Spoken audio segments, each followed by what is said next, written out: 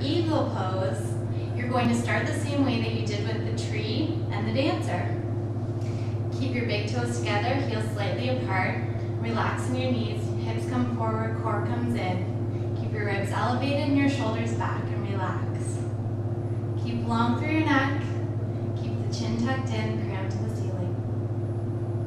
For this pose, you're going to want to, again, keep a focal point with your eyes. And remember to breathe and keep your core nice and balance. To begin, we're going to wrap the right arm under the left elbow so the elbows are connecting.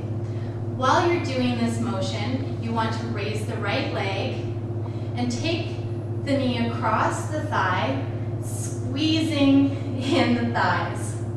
Your hands come across with your right fingers touching the palm of your left hand.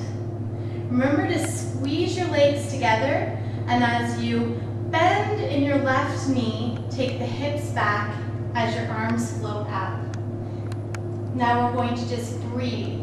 Keep your shoulders relaxed, keep your focus, and keep your core strong. If you'd like a little bit more depth, just continue to sink lower into your left